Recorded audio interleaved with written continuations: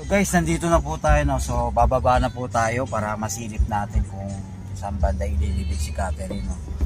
So samahan niyo ako guys. Ah.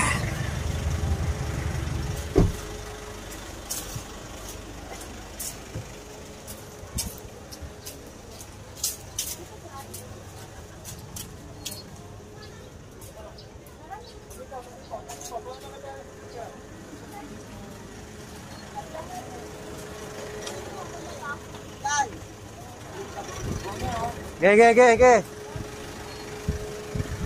Ge, diretso, malaki. Ge. Ge, diretso lang. Oo. Ge, diretso. Dapat kasi maputusan ko sa kabila.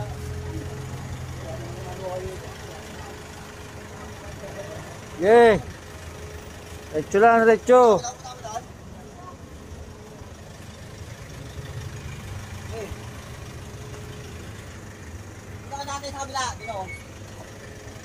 Pupunta ba doon? Hindi na. Mainit eh. Ba't dito? Saan ba yun dito?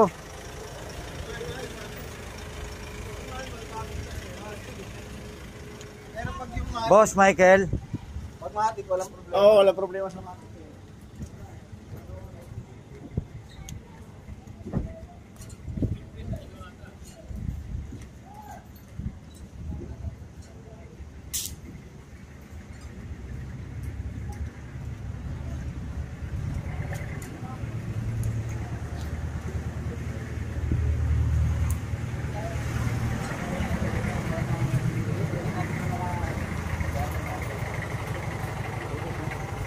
Kay Regan. Alam mo pa ba yung kay Regan?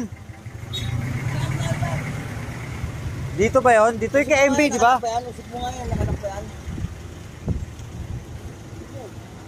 So yun guys, so, ah, hindi na rin kami tumingin. So nandito na lang po ako sa loob ng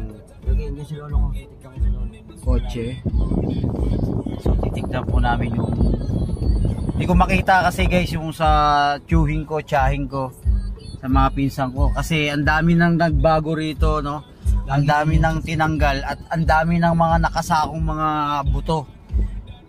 So wala na rin pangalan doon. Kaya hindi ko na makita. So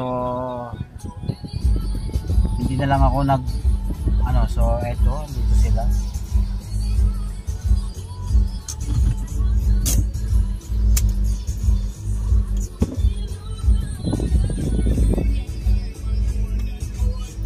So nanatili na lang kami dito para makaiwas na rin sa virus na kumakalat.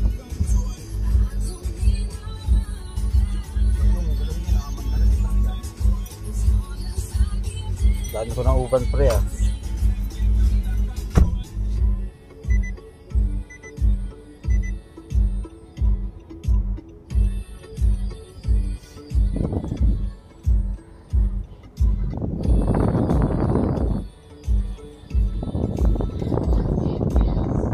So hindi na rin po ako bumaba dahil para makaiwas na rin sa virus no? Dahil maraming tao. So grabe yung nakita ko kanina guys no? Yung mga hindi ko nakita na yung sa pinsang ko sa China chewing ko no? Siguro isa na rin sila na iniligay sa sako kasi matagal na rin na walang pumapasyal at dumadalaw. So baka tapos na yung kontrata kaya yun ang ginagawa nila nilalagay nilang nila sa sako yung mga buto.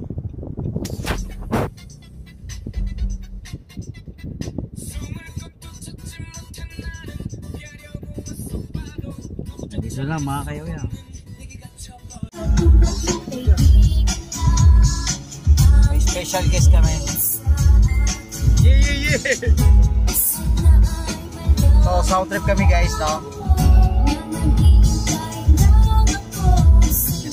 CCTV oh